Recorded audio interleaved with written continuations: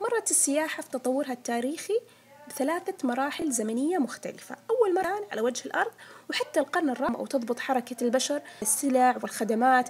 هي طريقة فهي وسائل أو طرق بدائية وبسيطة جدا. الإنسان في هذاك الفترة في هذيك الفترة كان آه، يقوم برحلات عديدة والأسباب متنوعة.